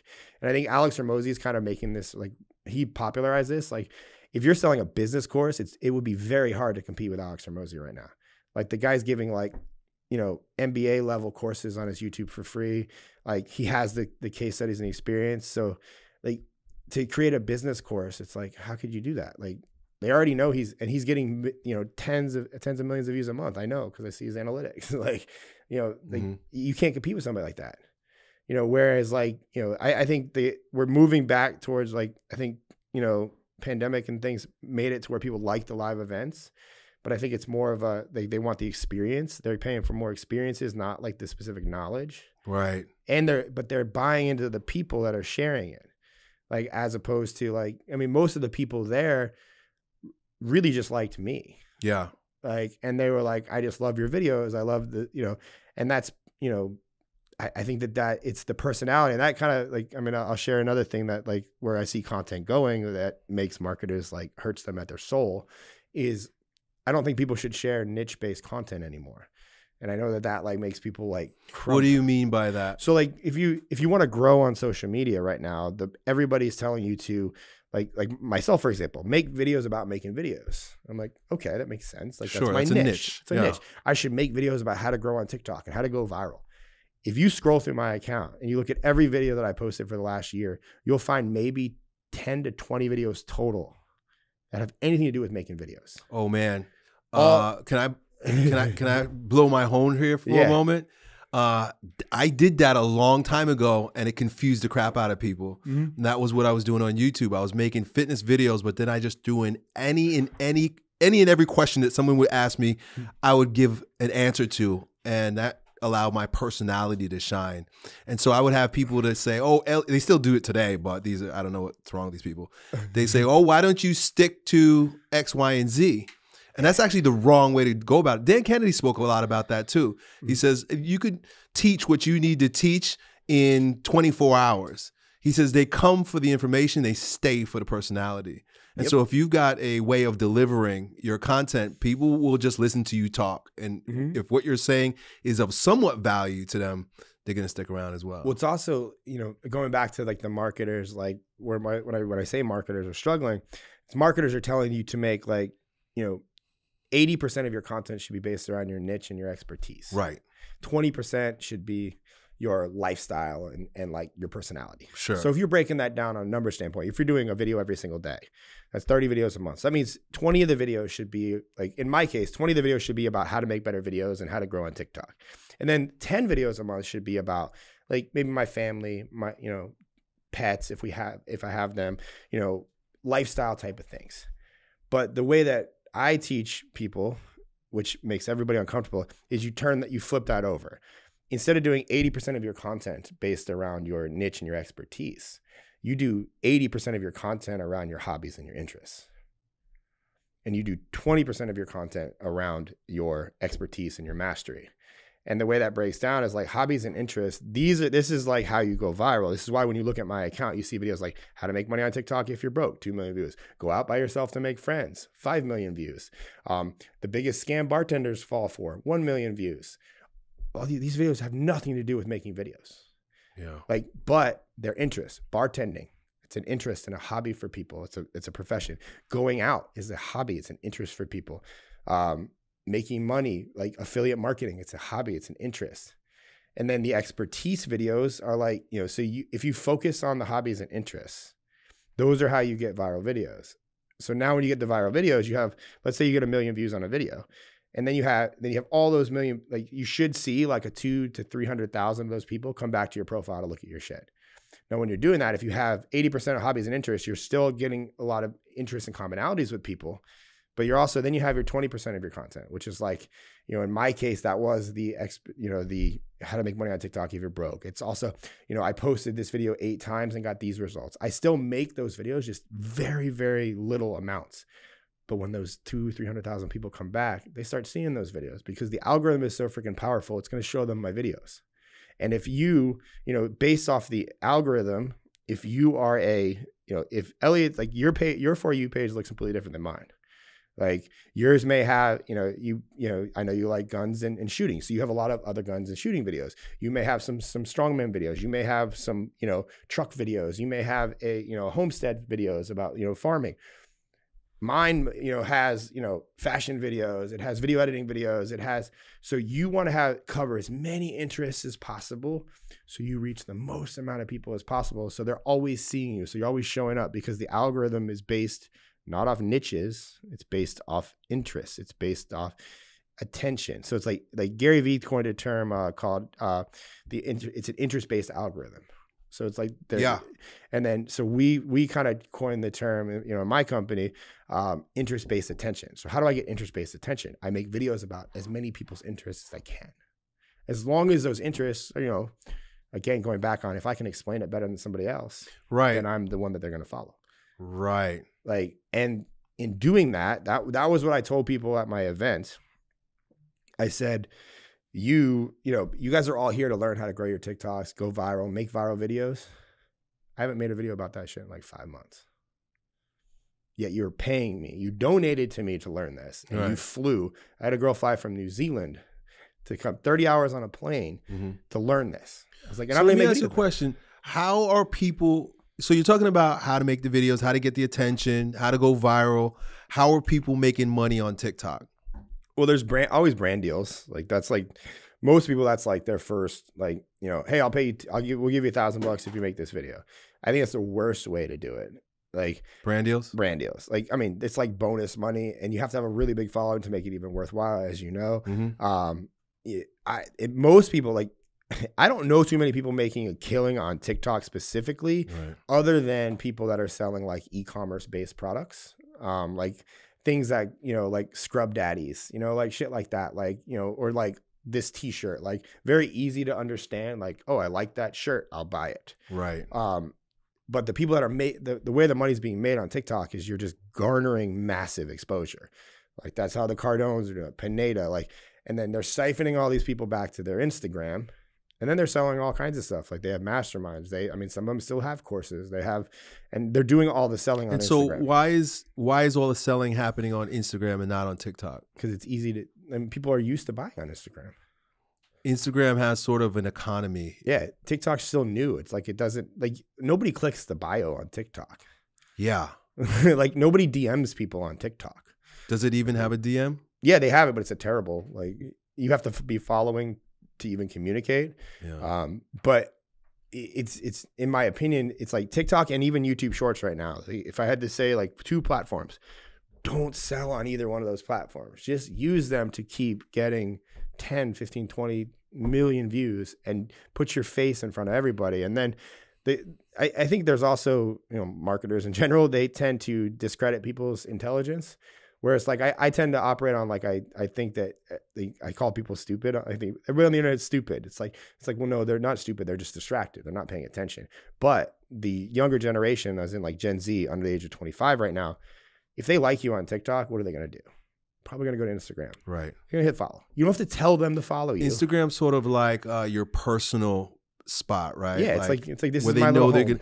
It has sort of a culture of like personal touch, right? Like if somebody uh, hits you up in your DM, like you, there's a good chance you're going to get the actual person.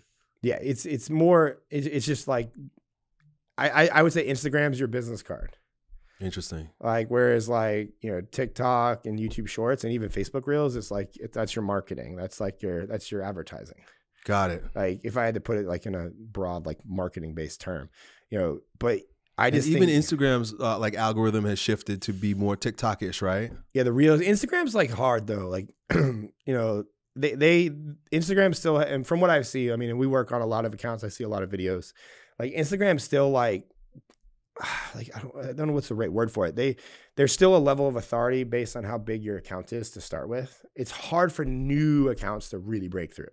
Still on Instagram, whereas on TikTok and YouTube Shorts, like my YouTube Shorts channel is getting like 10 million views a month right now, and it was started less than a year ago with and has zero anything. Like it was a brand new account. Same same thing with uh like TikTok. You we start new accounts on TikTok all the time. You don't you don't even I mean And they was it- blow up pretty quick. yeah, I mean, you saw Andrew Tate didn't even have an account. Like, you don't even need followers anymore to get exposure. Like that, that, that I think is a big shift for people too. It's like so many people because of Instagram, people are super fast or focused on how many followers you have and like what are your followers worth and all this shit. And then you have somebody like Andrew Tate who comes in who doesn't even have a fucking account and he's still the most famous person in the world. yes, he's kind of declined a little bit since they censored him, but even still, people are still talking about Andrew Tate, and he hasn't had an account for like three months, and he never had an account other than one Instagram account, and he didn't even promote anything on his Instagram account. It was just pictures of him looking cool. Like he barely used Instagram, but he had like when it, I think uh, when it got banned, he had like six million followers on Instagram. He was getting hundred thousand a day or something.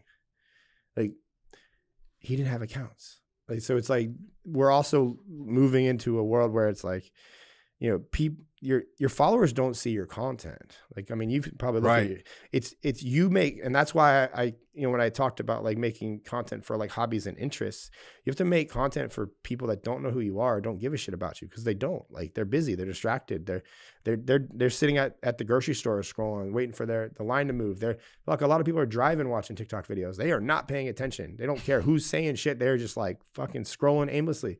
So it's like when you look at the analytics, it's like all your views come it's like on mine specifically it's like 90 98% non-followers. Like i i got 8.1 million views in the last 28 days on on youtube and 9 million 9.5 million of that was or even more than that i think 9.8 or like 8 it was 8.1 so like 8 million of that. I'll give the other 100,000 of my people that the 14,000 followers i have now. Hmm like the rest of it was just all people that have never seen you For you page, Yeah. explore page. it's for you page, explore page, and or like, I don't know what they call the shorts page. Like it's just the same thing on you. I just see them scrolling by on my uh, yeah, they just, they YouTube. just slide They in. just show them in. Yeah. like so. Again, if you make niche based content, you're making it for followers, as if you have followers, and most people don't have followers. So when you do that, when you f- reverse that, and you just start making it like I make videos for everybody, like they just happen to also get some of my knowledge in the process. Amazing. This is so good, man. So many gems, so much great information. I'm taking mental notes, but I'm gonna pick your brain a little bit more later, dude. It's been amazing uh, being friends with you over these years, dude, and watching your evolution, watching you grow, watching you you. become the expert, the man that you are right now, the father that you are right now. When are you gonna get married? Stop dragging that girl along, man. We actually we've been talking about it. Right? We've been talking. We've been talking about it a while. You know. You know. I just don't like the government involved in my shit. I don't blame you. I totally understand. But, but no, we've been like it's uh we, yeah, we definitely have been talking about it. Well, you know, she was previously divorced. Like and I've seen so many of my friends get divorced. I'm just like I mean, you you and Colleen are like one of the only couples I know that are like happily together and have been for a really long time. yeah, praise the Lord. When I look at other people, I'm like I've watched like 5 to 10 of my like 5 of my friends, 5 of Kristen's friends get married and get divorced and remarried and divorced. And I'm like, well, you guys not too Why bad. are we doing this? Yeah, the institution has been destroyed. but I but I do believe I, I do believe in the sanctity of it. I do believe in the the security for the woman. hmm But And I also just- for the child, also, Yeah. also for your child to know that my daddy's actually my mother's husband. yeah, the baby daddy thing. Yeah. you know, even though we're engaged, it still is still have some awkward conversations Mm-hmm. at the school. But no, we've been talking about it. Uh we just kind of figure out what we want to do. Like, cause I, I kind of want, we just want to have like a big party. We don't really want to have all the, hmm you know, the bells and the whistles. Sounds she about still, right. Yeah, she still wants to wear a dress, but not like I'm like I was I was talking to Luis, my you know my partner in the agency, and he I was like one of the things that pisses me off about weddings is that you know all these guys try to dress up, but then they end up looking worse. They just look like shit because they all buy suits that don't fit because they're like, I have to wear a suit because it's like a good dress code. And it's like, we got to, you know, show respect to the gr- bride Mhm. and the groom. So, but then they wear suits that look like shit. And I'm like, you should just worn your fucking regular clothes because you look like shit. Or you do like our buddy Donnie and go to the baseball. That was cool. Donnie's wedding was fun. yeah, he was at a baseball diamond. Yeah. All the guys just wore suspenders. Yeah, it was like, but it- but it's like even that I'm like ah, I just want some, like something lower lower key, but like bigger part. Like I just if it was like a nightclub for all of my friends, and like bottle service for everybody, Mhm. like I feel like that would be pretty cool. Like where people could talk, but it's still like a like a vibe. I don't know. Me and Kristen are probably gonna talk about it, or like a concert. Like, cause making some money now, I could probably pay for a good band to come play. It's cool to see you making money because I just know you as Broke Ryan. yeah, And it's But- amazing that you've been you've been a great father. You've been a great. I'm going to just call you a husband because I mean you can't live with a woman that many years. and- yeah, we have common law, right. You basically are. You've been a great husband, you're a great father, very loyal, very consistent, hardworking, never giving up, and man, like it's all paid off. And to see where you're at right now, it just warms my heart. yeah, just trying to keep it going. Because now I'm like, shit, I don't want to go away. So it's like now you gotta now you got to work like extra hard. Like there was a Hormozi. I, I I tend to quote Hormozi a lot because I respect him and like I've worked with you know I worked with him for a long time now. Uh, like he's like when it gets easy, go hard. And like Chris kind of ingrained that. He's like so it's like even now like I feel like I'm just blowing myself up to keep this going and When like easy goes hard. Yeah, Right. I wish I would have kept that. in I wish somebody told me that yeah. when things got easy for me. Like I, I don't like I just keep I'm like like because it's I, I think this is like a le- like a lesson for people like when you have something that's working like you, you assume it's gonna work forever. And like I mean I've seen it like with the SEO I thought I was invincible. Right. and then it crashed. With the YouTube I thought I was invincible and then it crashed. It's like now it's like okay there's a shelf life on this. Like I just hope that I have a big enough well for me it's like two things. I hope I have a big enough personal brand when it when it when the shelf life ends. Because I've seen you do that very well. You've built up such a loyal audience. You know, even if you went easy, you still have this core group of followers that's like that loves you. So it's like I just want that to get as big or at least they remember me. Yeah. it's the craziest thing. People be like, "Wow, I haven't seen you in forever," but and then the and then that, they that emotion, that sense of we're friends comes up. Yeah. I And then- appreciate that. and then when it comes to with money, it's just like I just know that if I have this, if it's taking me like a year to get this amount, can I condense? Can I double it in the next year? And then hopefully at the end of that year, if everything were to fall apart, at least I have this big nest egg now that like I'll make a lot better decisions with a million dollars in my bank account than I would with a thousand, you know, or maybe not. I mean, but ultimately, like the the way that I've seen it, it's like you make much better decisions when you're not struggling for money. Like you make more long term decisions. Because I made a lot of really good short term decisions that have made me that have like hell the whole this whole TikTok thing is like a short term decision, Yeah. but then turned into. But there's been multiple times where I was like, kind of like persuaded to, to try something else, but I'm like, nope, keep going. Even now, like it is a managing a team of 15 is a nightmare for me. Like it's super hard. Like it's not my personality. Like I'm a loner. Like I'm like like one other person if I needed some help here and there, but like I have to do like team meetings and I have to deal with employee drama and I have like prop employees coming to me with problems and I have like an operator who's like, you know, hey, we got to deal with this and then I have, you know, it's like always and everybody I work with is very creative because they're all video editors and video editors like I mean, they're really hard people to work with because they're so like flighty and creative and it's like while i value that it's also a nightmare for somebody who's trying to build order in a company. Right. Like and and scale as far as like you know i hate that word scale. It's just like just to try to keep making more money and grow as a business you have to like rely on your certain employees and then find new, new good employees and it's been very very difficult for me to like navigate that like there's been many times in the last year where i'm just like fuck it i want to quit it all yeah. Like I'm just gonna keep making videos for myself. Forget everybody else. Forget all these. So clients. what are you doing? Are you taking on more clients? Are you thinking about selling the company? Or are you what are you gonna do? Grow it? I don't know. What is what are it your still thoughts? isn't. I mean, I mean, I can. I mean, I I'm super sure like. So every time we've hit a hundred thousand a month, everything fell apart. I've done it three times now in the last year. Bring on clients, get to that point, everything falls apart. When I say everything, like not every. It, it just it, we we are bringing on editors, and like the workload gets higher for the editors, and then like editors quit. Yeah. And then I got to, and it like, I haven't mastered editor training because I'm, I am very invested in my content as far as like how, because of all the clients we work with are so high scale, they're, they're very high maintenance, a lot of them. Like they're not, and they have every right to be. They've built massive brands. So they're putting trust in us to get them millions of views on the internet. So it's like, there's a lot of back and forth in the process. There's a lot of like, you know micromanaging that we have to deal with because it's like we can't have this going on this account because it's going to be negatively impacted on here I mean, we have had clients if we if we use the wrong pictures they can get like cease and desist and sued if we use really like I mean we had Getty Images come after one of our like because because one of my editors just grabbed the Getty image off the internet and like Getty's like fucking I don't know why they're still a company. They're such a piece of shit. Like they just they just send you like they they, they threaten to sue you over using a photo of Yeah. that person. Like it Yeah. makes no fucking sense. they've been doing that forever. And, yeah, so it's like, but yeah, but those are things that like you don't know you have to deal with until you have that problem, and you're like, shit. Um, one of our clients had a deal with a certain television network, and he had a show. Um, we made some pretty good viral clips from that said show, and uh, we had to take all of them down because they said it negatively reflected the, the show. Um, even though it was what the creators said, so didn't really understand how that worked. But because of contracts, like yeah, that almost cost a certain client a lot of money. So it's like we have to worry about these things that most I don't think normal people would have to deal with like, Yeah. as they're growing. Um, you know, so it, it is, and then the constant pressure of you know if anybody's watching this, like you know they Gary Vee's kind of ingrained this. You have to post seven, eight, nine, ten times a day. right. Well, it's like to make a video like mine. When you see the ones on my account, they take me two hours per video. Yeah. Like if I was just working on my own account, I'm maybe gonna do two videos a day if I could, and that's even pushing it because creatively to make a video like ours, and I mean my editors like they the good editors, I say good, most experienced editors do four videos a day Monday through Friday.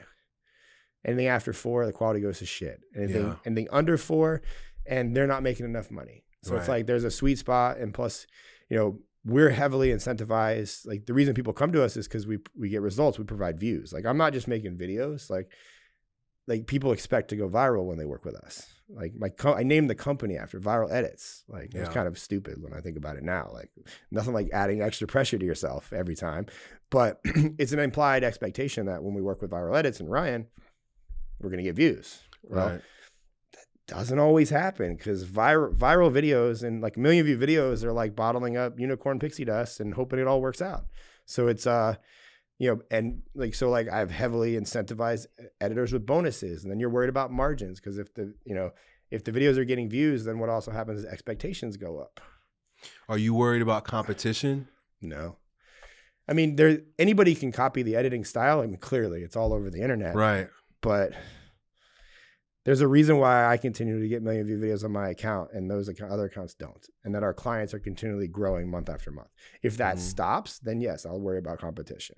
Mhm. but clearly like, but we do a lot of stuff that most people won't like as far as an agency is concerned um, which I, I don't know that i would recommend other agencies to do it because it's a high workload. Right. i mean like i've traveled uh, this year 30000 miles on delta and almost 80000 on american. Because you're going to people to film them for we film we do huge batch filming sessions. Like we'll film 50 we usually do two day sessions like four or five hours each day. We film upwards of 100 videos in like a total session uh, we come back we disperse that over the course of three four months you know and then if those don't work we got to go back like or if they're not working halfway through we fly back so it's uh and then if you're running a company which most people don't think about when you're doing it like that's margins if I have to go keep continue to go back because the videos aren't working, that means I did something wrong when I got there. So we come with a plan, everything's thought out.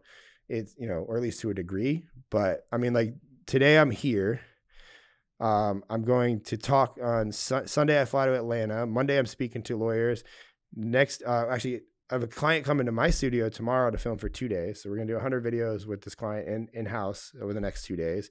Then Sunday I fly to speak to 600 lawyers on Monday, and then Tuesday I'm flying back home. Wednesday I go down to Miami to film with Brandon Carter for two days. So we're gonna do another hundred videos. While I'm there, two members of my team are also gonna be with two other clients that are in, in Miami. They're gonna do hundred videos each for them. Then we're all driving back from Miami together. Like, and that's just next week.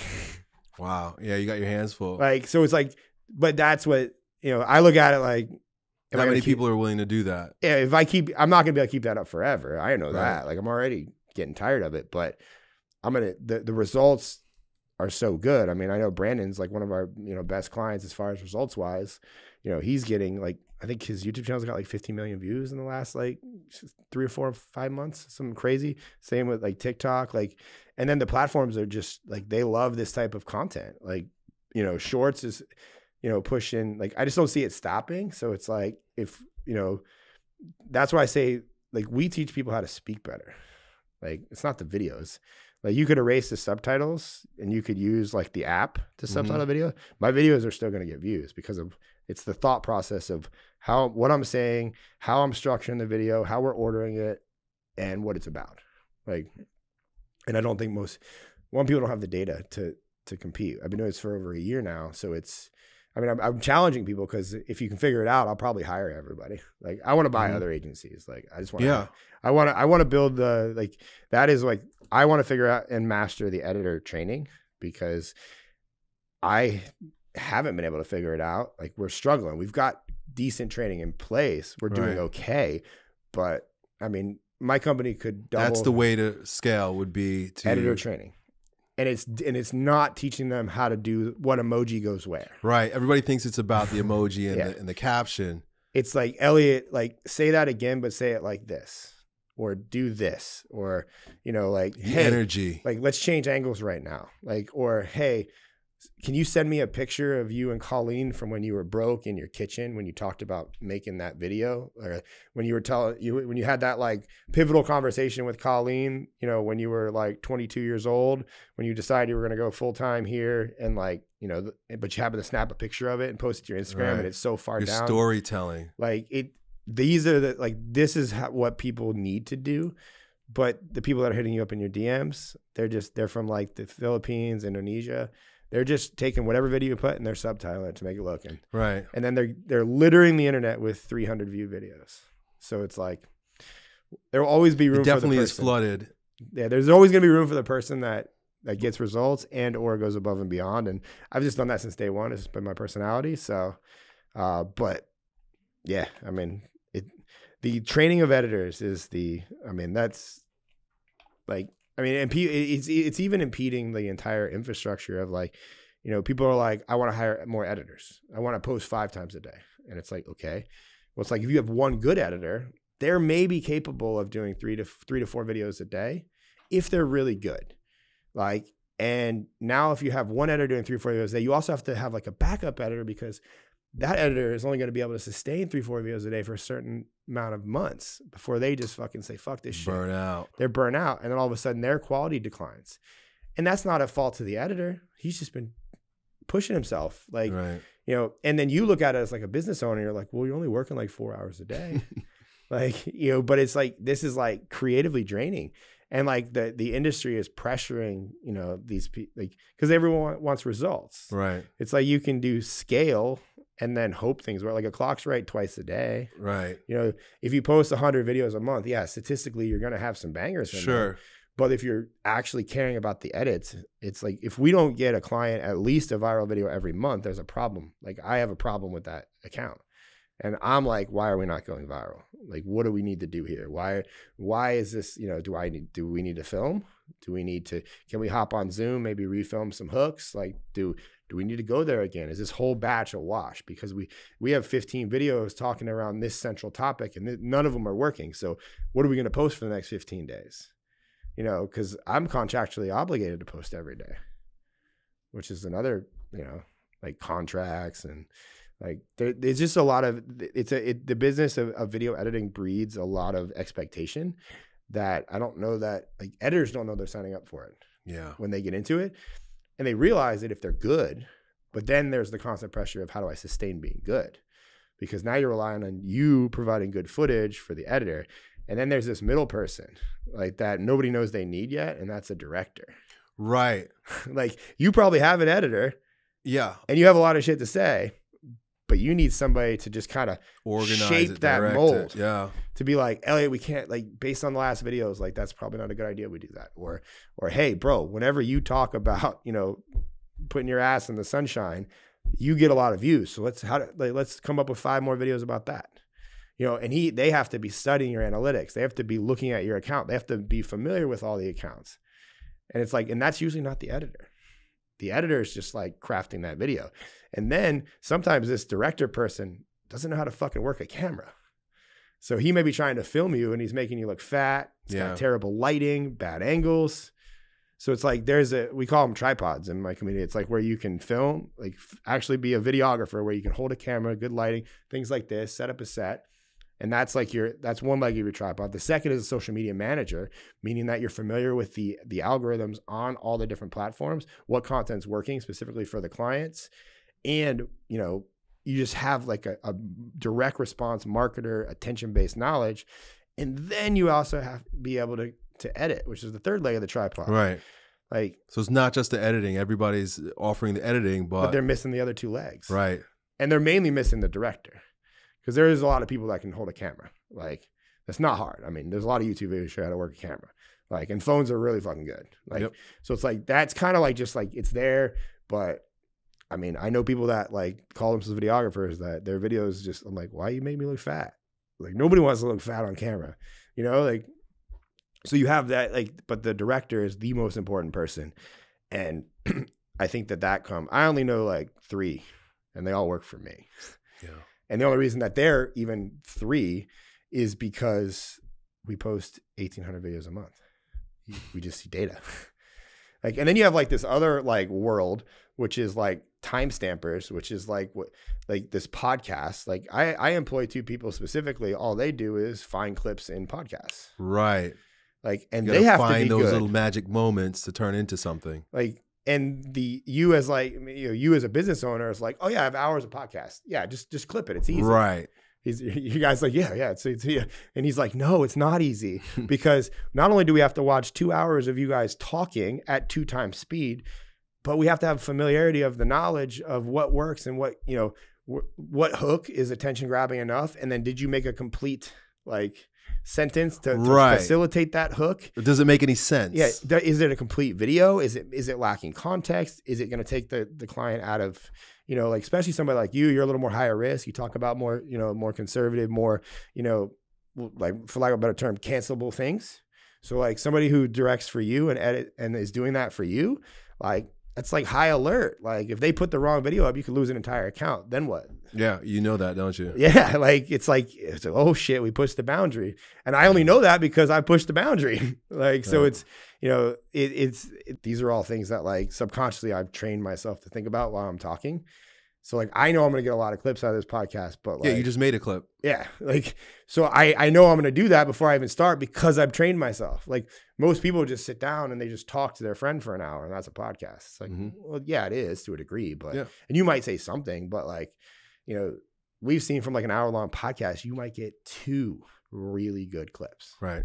You know, whereas you know, in an hour, I can film, you know, we average filming like five to 10 minutes per video. So like at bare minimum, I'm going to get six videos in an hour that are complete on, on, if you're actually a good filmer, probably 12, 12. So like I can film 12 to two. Which one would I rather focus on? You know, so it's, but again, this is like a whole industry emerging that, you know, and again, and then it's like business owners don't want to pay for the amount of time it takes to facilitate all that. Right. Like, I mean, I charge what I would consider Ferrari levels right now, and people are like, you could charge way more. I'm like, I know, but that comes with expectations, Right. which I don't know if I want to deal with. Right. Like, you know, and that's, and then it's like, if you charge less, then it's like, you know, you're dedicating certain people. Like, you have somebody watching videos, you have somebody editing videos, you're flying a videographer out.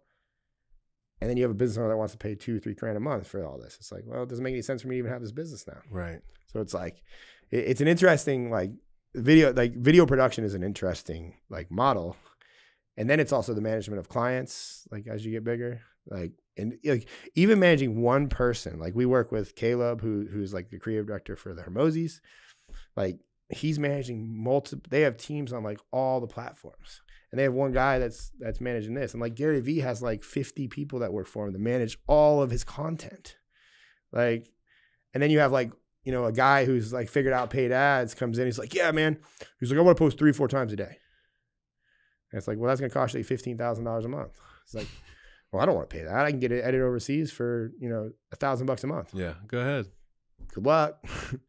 right? You know, so I think there's a whole world uh, emerging that like it's gonna get. I mean, it, and then you have like AI and softwares that everybody's like freaking out, like the captions apps. It's like, right. it's like okay, like yeah, you can use an app to make a video or to put captions on a video, but do they know copywriting?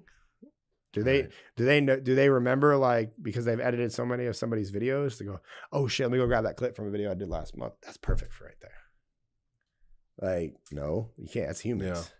Yeah. Like so, but then again, there's like AI might erase that. Who knows? But like I don't know. I'm that's what I'm fascinated about. It's like the the overproduction of like what like the expect what, what people expect from videos versus how much work it actually takes to do it.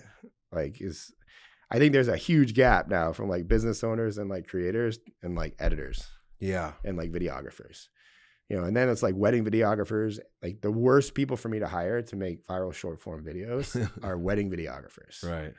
They just don't get it. They they look at videos like like the ones that I post and they're like, these are ugly. Like these are it's like it, it like gives them like anxiety because they're so like they're they're kid like, Yeah. you know? And- Definitely are. yeah, and it's just like they're like, ah, I just can't. And then they try to do the fancy stuff, and the fancy shit never works. Like especially on this, it's too slow. Like I know because I tried doing fancy shit when I started, so it's like, but I don't. It, they I, I like to geek out on that because it's just like it. I don't know. Like people people want million view videos, and then it's like you have a creator like yourself. I mean, you've had bad viral videos before. Like until you've gotten a million views, you don't know what it's like to get a million views or the repercussions of getting a million views because like you can't stop it when it starts Yeah. like it like i mean I, I have some videos that i'm like fuck that went viral like that was the one like yep. you know, i would have definitely like done i would have said that a little differently if, if, Right. if i'd have known that was going to get 4 million views like or i wouldn't have left that out and then it's like the, the comments like like with short form it's impossible to not see comments like because you Yeah. log into your apps to do anything and it's just like oh priority here look at this it's like yeah. everywhere so it's like and now with like s- TikTok and like even YouTube, YouTube Shorts, like I was talking at my event and I was like, like I don't, I can't recall a positive comment I've ever read on any of my platforms. all of it is shit talking. All of it's hate. All of it makes you feel like shit. And I'm just like, so I I lean into that. Like we Yeah. do shit to trigger people. Like Right. say words wrong. Like you know, like say uh like you know leave out like a little detail that's gonna make somebody angry. Like it's like you can't do that. And like a machine can't do that. Like that's like something like, I'm gonna fuck with these people. Like you know, say things differently. Say things with like you know like this is where speech patterns is. Like can I say this really cocky and like smirk after and then not edit that out because that's gonna show personality. Like an editor would just cut that out. Right. Whereas like a marketer or somebody that's like knows like attention Right. will leave that like we do it with Brandon Carter all the time. Like because he'll like giggle. He'll say things super audacious and then just I'm like, don't cut that shit out. Like that that's like him. That's his personality. Like, you know, but if you cut that out, he just looks like a giant asshole. Right. And and then and then all the comments are like, just fucking arrogant prick, fuck fuck you. Like it's like choo, choo, choo, choo. It's like some people can't handle that. Like, you know, we have a lot of friends that can. So it's like, but I think that's a different world that people are walking into that they don't realize they're walking into until they're like, you know, we have clients that are like, yo, don't ever make a video where I mention my wife again. Oh yeah. Like, and I'm like, oh shit, man. Then you feel bad. Like, like we were supposed to work with a company. Uh, they were actually, you know, they were affiliated, you know, with the Hormozis, and you know, it's like a, a children's company. I went there and I was like, all the things that you know, I don't want to say what it is just because of like privacy is, but everything that I'm like that could go viral. It's like a child. Can't Right. do it. And I'm like, I the parents like they they're like, yeah, well they can sign a social media release. It's like, yeah, they can, but they aren't signing up for what I know is coming. Right. Like, that's not their like they are not influencers. They like, you know, like and it, it would be like so. There's certain instances where it's like you know also too the editors are in control of this. You know whether they realize it or not, they are, and it's just like. Like so, I, I mean that's why I think we're different. Like what I'm doing is different, just because I don't. I think a lot of people are reaching out in the DMs. It's a factory, like, like. But then again, they've you know I'm I'm fortunate that I've made a lot of viral videos, so it's I've seen a lot. I've seen a lot of shit. So, but uh, that was a rant, but shit that uh, it's the Red Bull. it's the Red Bull. Yeah, I've had like three today.